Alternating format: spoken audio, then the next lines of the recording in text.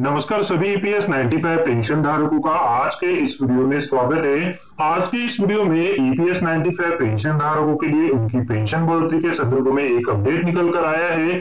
तो उसी अपडेट के बारे में अभी मैं आपको इस वीडियो में जानकारी देने वाला हूँ। तो जी हाँ दोस्तों बाईस जून 2020 को माननीय प्रधानमंत्री जी को ईपीएस 95 पेंशन धारकों की जो मांगे हैं तो उसके संदर्भ में जो एक पत्र लिखा गया है तो उसी पत्र के संदर्भ में अभी मैं आपको इस वीडियो में पूरी जानकारी देने वाला हूँ। साथ में यहाँ पर ईपीएस 95 पेंशन धारकों द्वारा जो अलग अलग मांगे माननीय प्रधानमंत्री जी के सामने यहाँ पर इस पत्र के द्वारा रखी गई है तो उसे भी जो है वो अभी मैं आपको इस वीडियो में बताने वाला हूँ। तो आप इस वीडियो के साथ अंत तक बने रहिए, ताकि ये जो इंपॉर्टेंट ईपीएस 95 पेंशन धारकों की पेंशन बढ़ोतरी के लिए एक और प्रयास ऑनरेबल प्राइम मिनिस्टर जी को जो पत्र लिखा गया है तो उसी के संदर्भ में जो अपडेट है तो उसके बारे में अभी हम इस वीडियो में जानकारी लेने वाले तो चलिए दोस्तों, ये जो डिटेल अपडेट है तो इसको जानते हैं। पर उससे पहले अगर आपने चैनल को अभी तक सब्सक्राइब नहीं किया है तो वीडियो के नीचे जो रेड कलर का बटन है, उसे प्रेस करके आप चैनल को सब्सक्राइब करके रख लीजिए। और उसके बाद जो बेल का बटन आएगा, उसे भी आप प्रेस कर दीजिए, ताकि भविष्य में जो भी अपडेट आए तो उसका नोटिफिकेशन आपको सबसे पहले मिल सके।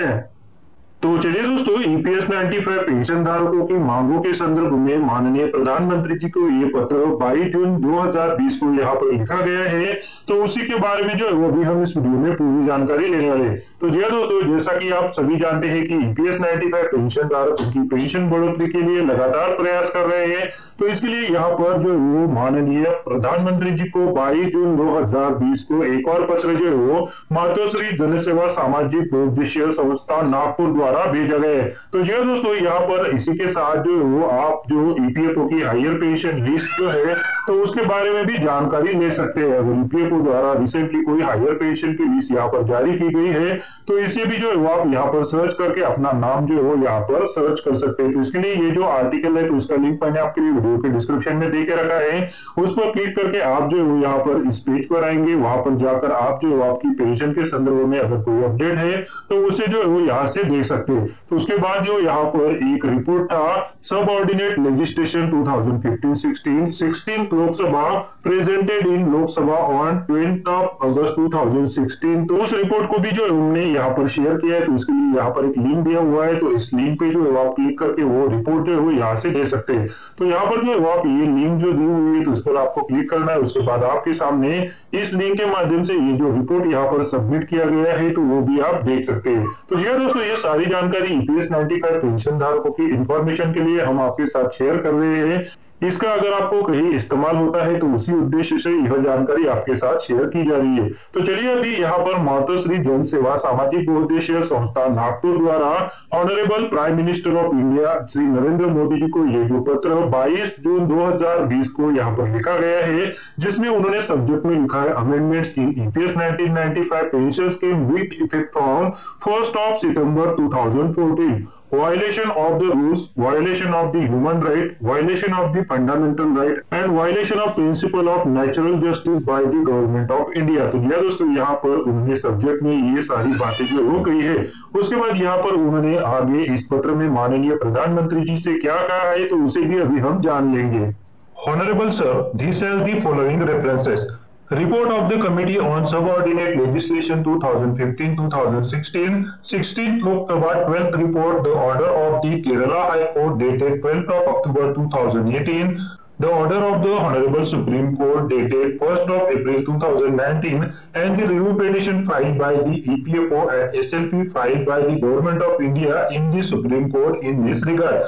With reference to the above subject matter, it is the most humble brought to you kind notice as below. Honorable Sir, it seems that all the facts regarding the above subject are not brought to your kind notice by the EPFO and the Ministry of Labour and Employment and therefore very illegal and wrong decisions are being taken by the government of India in this regard. The Bharatiya Janata Party government came in power on 26th of May 2014 after the Lok Sabha election of 2014. Then after coming in power, the government of India made amendment in employee pensions in 1995 with effect from 1st of September 2014 via GSR number 609E dated 22 August 2014 which has very adversely affect the interest of the employees. Some of these adverse amendments are as given below. Deletion of the provision of higher pension, average salary of 60 months instead of 12 months for the calculation of pension, recovery of 1.16% contribution from employee above the statutory limit. These amendments are most detrimental and affecting adversely the interest of employees. Moreover, those are made applicable retrospectively. These amendments are made applicable to the employees who were in service prior to 1st September 2014. This was the first very wrong and illegal decision of the Government of India against the EPS 1995 pensioners. Because of this pension of pensioners retired after 1st September 2014 is reduced substantially and created lots of discriminations among the employees. Therefore, against this amendment, thousands of employees or pensioners filed the cases in the various courts across the country. The Kerala High Court decided 507 cases filed by about 15,000 pensioners or employees and delivered the judgment on 12th of October 2018, setting aside the amendments made. Then EPFO filed an appeal in the Supreme Court, rejecting the appeal of EPFO filed against the Kerala High Court order, the Honorable Supreme Court hailed the amendment as illegal, arbitrarily and unconstitutional and passed an order dated 1st of April 2019. The Government of India Ministry of Labour and Employment prior to the decision of Supreme Court has assured to follow the judgment of Supreme Court and settle the grievance of the pensioners. However, the Government of India Ministry of Labour and Employment is not keeping its word. Now, EPFO has filed a review petition against the judgment of Supreme Court dated 1st of April 2019 and the Government of India have filed a SLP against the order of Kerala High Court only with the intention to deprive the pensioners from their legal rights. This decision of the government of India is very wrong and is totally against the employee and pensioners of the country. The another most important thing in this regard is that the government of India have constituted the Committee on Subordinate Legislation 2015-16. The 16th Lok Sabha under the chairmanship of Sri Dilip Kumar Mansukh Lal Gandhi to study the said amendment via GSR number 609E dated 22nd August 2014 with effect from 1st of September 2014. The Committee on Subordinate Legislation studied the amendment, recorded the statement of concerned government officer and made the observation that the amendment are very illegal, arbitrary, unconstitutional and against the principle of natural justice. तो जी दोस्तों इस committee द्वारा यहाँ पर ये जो report बनाया गया है तो वो भी हमने जो है वो आपके साथ यहाँ पर शेयर किया है तो इसे भी जो है वो आप यहाँ पर देख सकते हैं तो जी दोस्तों आगे बढ़ते हैं इस लेटर में माननीय प्रधानमंत्री जी को और आगे क्या कहा गया है The committee also observed that the retrospective application of amendment is very illegal and recommended that the amendment cannot be made applicable to the employee who joined service prior to 1st of September 2014 and retired after 1st of September 2014. The committee quoted the example of the central government pension scheme. The central government closed the old pension scheme and brought new pension scheme that is NPS with effect from 1st of January 2004. In this case, new pension scheme cannot be made applicable to the government employee who were in service prior to 31st of December 2003. With the same logic, amendment made in EPS 95 pension scheme cannot be made applicable retrospectively. The report of the committee was presented in Lok Sabha on 10th of August 2016. Again, it is very surprising that no cognizance of the report of the Committee on the Subordinate Legislation was taken by the EPFO and amendment are not cancelled. Then after the decision of the Honorable Kerala High Court and the order of the Honorable Supreme Court also, the amendment are not cancelled. No cognizance of the Committee on Subordinate Legislation 2015-16 12 report was taken and the order of the Kerala High Court or the order of the Honorable Supreme Court are not honored. Therefore, it is Therefore, it is regretted to mention that the government is taken very wrong decision and the government itself is not following the rules and violating the human right, fundamental right and the principle of natural justice in case of old age senior citizen of the country. This is very bad state of affair and certainly not a perspective of good governance. Lack of old age, poor pensioners, senior citizens of the country are making education, sitting on the road for their demand, struggling for their survival and the government instead of protecting their legitimate right is forcing them to fight the legal battle in their fact ends of life.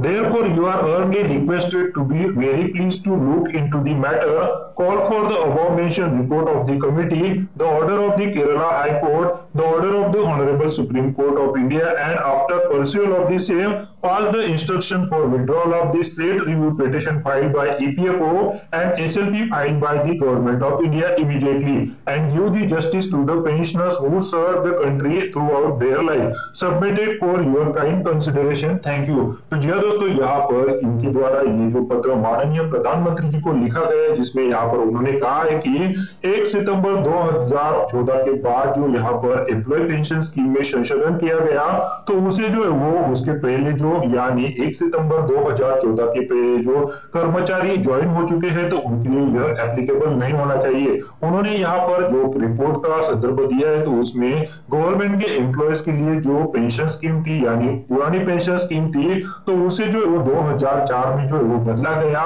यानी 2004 के बाद जो कर्मचारी join हुए तो उन्हें जो है वो पुरानी पेंशन स्कीम का लाभ नहीं दिया जाता, पर उससे पहले जो कर्मचारी ज्वाइन हो चुके हैं तो उनको इस पेंशन का लाभ दिया जाता। जो नए कर्मचारी ज्वाइन हो रहे हैं तो उनको एनपीएस के तहत जो है वो पेंशन का लाभ दिया जा रहा है। तो यह दोस्तों, यह जो उदाहरण है तो वो उस रिपोर्ट में भी दिया गया है। साथ में यहाँ पर सिमिलरली इस रिपोर्ट में कहा गया था कि ईपीएस 95 पेंशन स्कीम में 2014 सितंबर में जो रिविजन की गई तो वो जो है वो सारे कर्मचारियों के लिए एप्लीकेबल नहीं हो सकती। उसके बाद, यानी 2014 के बाद जो कर्मचारी ज्वाइन होते हैं तो उनके लिए यह जो चेंजेस है, वो एप्लीकेबल होने चाहिए। ना कि जो 2014 के पहले जो कर्मचारी ज्वाइन हो चुके हैं तो उनके लिए। तो जय दोस्तों, यहाँ पर उन्होंने केरला हाईकोर्ट द्वारा जो फैसला 2018 अक्टूबर में दिया गया है तो उसका ज़िक्र किया गया है। उसके बाद ईपीएफओ द्वारा इस फैसले के ऊपर जो रिव्यू पिटिशन दाखिल किया गया था तो उसका भी ज़िक्र जो है, वो इस लेटर में उन्होंने किया है, कहा है कि जो केरला हाईकोर्ट द्वारा फैसला दिया गया था तो उसके ऊपर ईपीएफओ द्वारा एक रिव्यू पिटिशन दाखिल किया गया था जिसे सुप्रीम कोर्ट ने फ़र्स्ट ऑफ़ अप्रैल 2019 को डिसमिस कर दिया। उसके बाद इस फैसले के ऊपर ईपीएफओ ने फिर से एक रिव्यू पिटिशन अभी दाखिल कर दिया है, जिसका फैसला आना बाकी है। साथ में केरला हाईकोर्ट का जो फैसला है तो उसके ऊपर भी यूनियन ऑफ़ इंडिया द्वारा एक एस फ़ाइल की गई है, जिसके चलते ईपीएस 95 पेंशन धारकों को हायर पेंशन का लाभ जो नहीं मिल पा रहा है। तो यहाँ पर जो वो ने कहा है कि ये सारे रिपोर्ट हाई कोर्ट द्वारा दिए गए ये सारे ऑर्डर साथ में सुप्रीम कोर्ट द्वारा जो ऑर्डर यहाँ पर पास किया गया है तो उसे जो है वो जल्द से जल्द उनकी रेफरेंस के लिए बुलाए और उसे स्टडी किया जाए। उसके बाद यहाँ पर माननीय प्रधानमंत्री जी से एक रिक्वेस्ट की गई है कि वो एक ऑर्डर पास करे, जिसमें वो कहे कि जो ईपीएमओ द्वारा न्यू पिटिशन दाखिल किया गया है, साथ में जो यूनियन ऑफ़ इंडिया द्वारा एक एस दाखिल किया गया है तो उसे जो है वो विड्रॉल करने के आदेश यहाँ पर जारी करें। तो जी दोस्तों इस लेटर की जो कॉपी है तो honourable chief justice of supreme court तो उनको भी भेजी गई है साथ में ministry of labour and employment through the honourable secretary Shram Shakti Bhavan Rafi मार्ग न्यू दिल्ली को भी यहाँ पर भेजी गई है। तो यह दोस्तों यूपीएस नाइन्टी फाइव पेंशन धारकों की मांगों के संदर्भ में ये जो डिटेल लेटर माननीय प्रधानमंत्री जी के नाम यहाँ पर लिखा गया है तो उसी के संदर्भ में जो है वो अभी मैंने आपको इस वीडियो में जानकारी दी। तो यह दोस्तों, आज के इस वीडियो में ये लेटर जो है वो हमने आपके लिए, आपकी इंफॉर्मेशन के लिए शेयर किए हैं अगर आप भी इस तरह का लेटर जो माननीय प्रधानमंत्री जी को अपनी मांगों के संदर्भ में लिखना चाहते हैं तो इसके लिए इस लेटर का लिंक मैंने आपके लिए वीडियो के डिस्क्रिप्शन में देख के रखा है। उस लिंक पर क्लिक करके आप जो इस लेटर को ओपन कर सकते हैं। तो जी हाँ दोस्तों, यह जो लेटर है तो ईपीएस नाइन्टी फाइव पेंशन धारकों की मांगों के संदर्भ में माननीय प्रधानमंत्री जी को लिखा गया है। तो जी हाँ दोस्तों, यहाँ पर जो महत्वपूर्ण update EPS ninety five pension धारकों की मांगों के संदर्भ में निकल कर आया था तो हम चाहते हैं कि यह जो लेटर है तो आप बहुत सारे पेंशन धारकों के साथ शेयर कीजिए। इसलिए आप जो इस वीडियो को ज़्यादा से ज़्यादा शेयर कीजिए। ताकि हर एक वो पेंशन धारक जो EPS ninety five pension scheme के तहत अपनी बढ़ी हुई पेंशन पाना चाहता है तो वो जो वो इस पत्र को देख सके और अगर वो चाहे तो अपनी तरफ़ से भी जो है वो माननीय प्रधानमंत्री जी को उनकी पेंशन बढ़ोतरी के लिए जो है वो पत्र लिख सके। तो जी हाँ दोस्तों, आज के इस वीडियो में बस इतना ही। आगे भी ऐसे अपडेट जानने के लिए अगर आपने चैनल को अभी तक सब्सक्राइब नहीं किया है तो वीडियो के नीचे एक रेड कलर का बटन है, उसे प्रेस करके आप चैनल को सब्सक्राइब करके रख लीजिए और उसके बाद एक बेल का बटन भी आता है, उसे भी आप प्रेस कर दीजिएगा ताकि भविष्य में आपसे रिलेटेड जो भी अपडेट आए तो उसका नोटिफिकेशन आपको सबसे पहले मिल सके।